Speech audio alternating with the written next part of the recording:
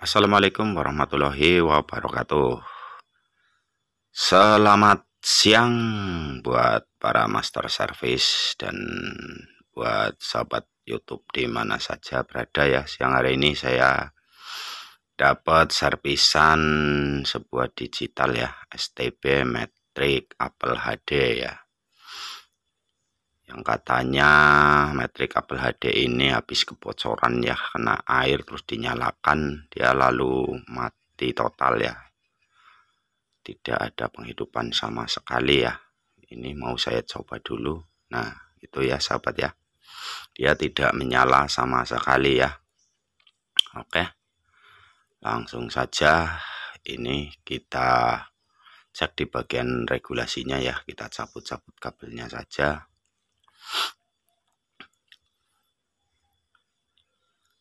Nah ini sudah saya persiapkan sebuah regulasi asematik DVD ya. Yang ada tegangan 12 volt plus dan min juga ada 5 volt ya. Jadi mempermudah nanti kita ya. Ini kita ukur untuk ke tempatnya ini tidak muat lalu kita potong ya. Maaf ya saya percepat ya videonya ya ini proses pemotongannya ya sudah saya gerinda. Nah ternyata sudah masuk. Nah, lanjut nanti untuk uh, pencabutan komponen ya yang berada di area asematik. PSU ini ya saya bongkar-bongkar saja biar tempatnya lebih lega ya. Ini proses pembongkaran saya percepat ya maaf ya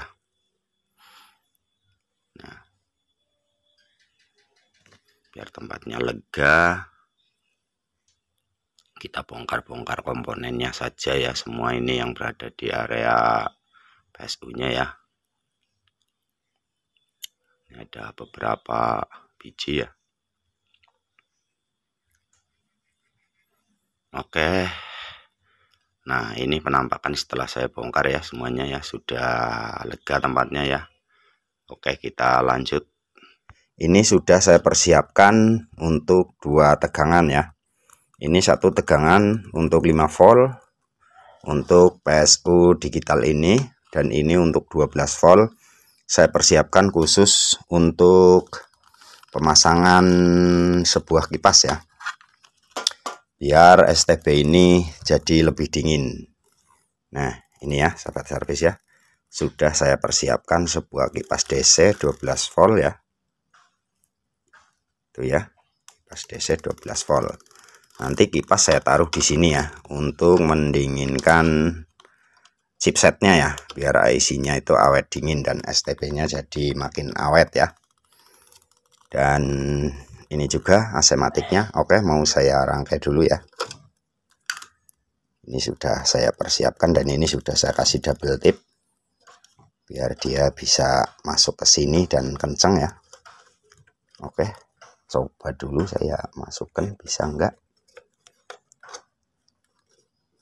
aduh keras sekali. Oke. Nah dia sudah masuk dan kenceng. Oke biar bisa ditutup ya. Nah begini penampakannya. Ini untuk kabel AC nya boleh kita perpendek juga nggak apa-apa ya. Kita potong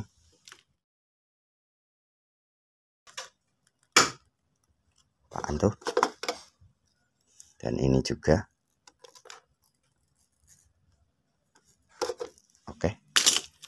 Kita kasih timah.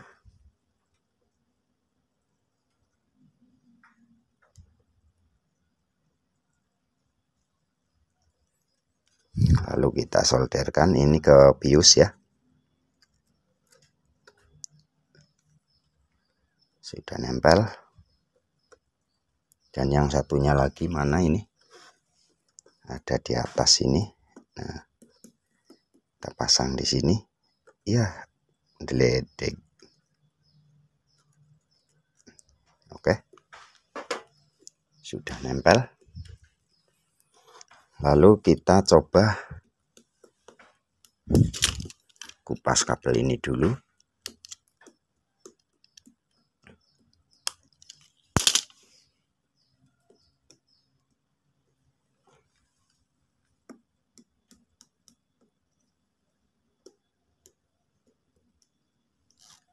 Oke ya sahabat servis ya. Ini untuk tegangan 5 volt DC ya. Coba kita uh, solderkan ke sini. Ini untuk negatifnya. Lalu di sini untuk positifnya. Ya ini kita naikin terlebih dahulu ya ganggu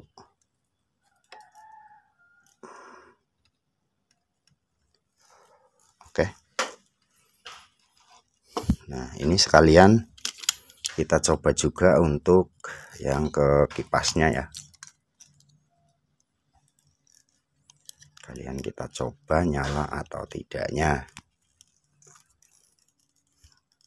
Ini kabelnya mungkin terlalu berlebih ya. Tadinya harusnya kita solderkan langsung saja sudah bisa ini.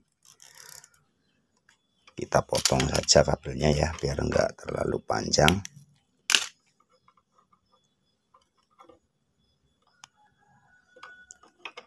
oke kita kupas sedikit seperti biasa kita kasih sedikit timah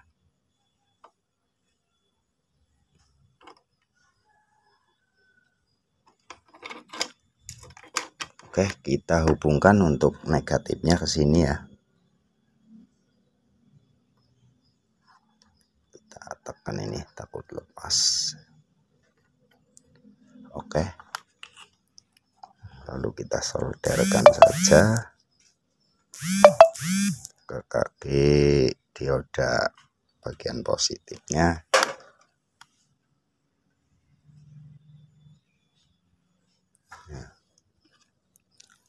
setelah itu kita coba colokan dulu ya. Oke bismillahirrahmanirrahim.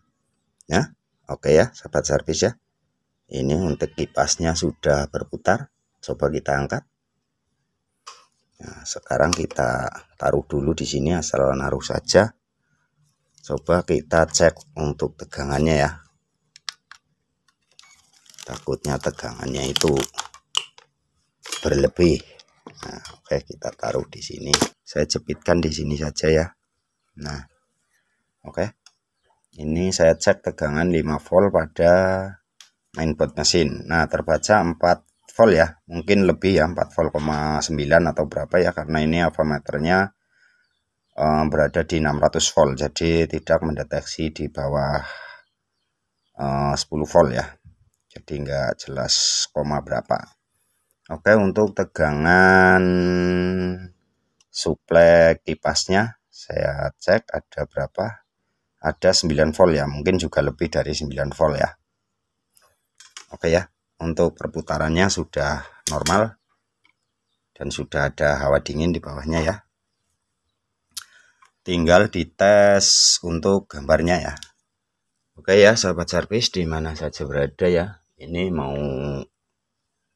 saya lakukan pengetesan ya. Untuk DVB metrik kabel HD nya ya. Oke sudah menyala ya ini sudah saya koneksikan ke portable. Berhubung saya nggak ada antena UHF ya karena saya hanya memakai parabola ya. Di sini saya mencoba memakai uh, flash disk saja ya. Saya gunakan flashdisk untuk mencoba normal atau tidaknya digital ini oke sudah kelihatan ya logonya. Itu sangat normal. Ini karena remote-nya juga tidak ada jadi saya pencet-pencet langsung di panelnya saja. Nah ini untuk getaran suara kipasnya juga sudah oke ya. Coba ini USB nya sepertinya belum connect dan ini jacknya agak kendor. Oke coba kita ulang lagi. Nah itu ya sahabat servis ya. Dia sudah connect. Nah, coba kita masuk music. Uh, untuk balada musik ya. Ini masih bersama balada musik punya Mas Ridho Salim Purbalingga. Oke, perkoro cidro lagi kita coba.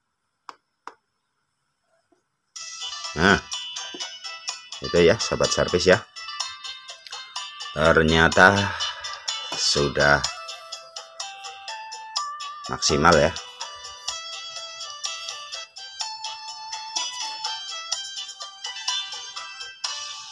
Oke, kita tambah levelnya coba. Aduh, panelnya agak keras coba kita intip sudah nggak bisa.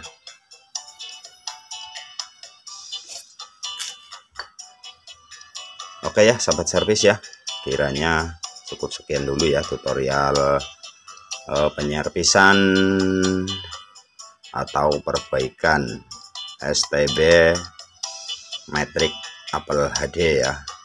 T2 ya DVB T2 ya yang DVB ini tadinya mati total karena habis kebocoran langsung dinyalain ya. Jadi ada yang kosong-kosong juga ya. Jadi saya melakukan penggantian saja ya. Saya ganti uh, untuk PSU nya ya untuk regulasinya. Dan sekalian saya pasang kipas untuk mendinginkan chipsetnya oke terima kasih untuk yang sudah mengikuti dan terima kasih juga untuk bantuannya ya. Ya yang sudah subscribe saya ucapkan banyak terima kasih. Yang belum subscribe silahkan di subscribe channelnya Ridun Service Channel ya. Dan jangan lupa juga untuk like, komen, dan share ke teman-teman dan semuanya biar saya lebih bersemangat lagi untuk membuat tutorial servis berikutnya. Terima kasih mohon maaf apabila banyak kesalahan. Saya akhiri. Wassalamualaikum warahmatullahi wabarakatuh